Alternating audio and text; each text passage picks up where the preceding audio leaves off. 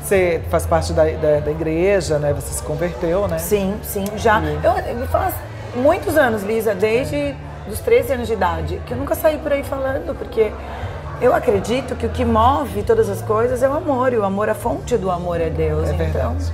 eu ficar falando, ah, eu sou daquela, essa igreja, eu acho, não, eu sou discípula de Jesus. Eu quero fazer aquilo que ele me ensinou a fazer, aquilo que ele deixou pra gente fazer, né?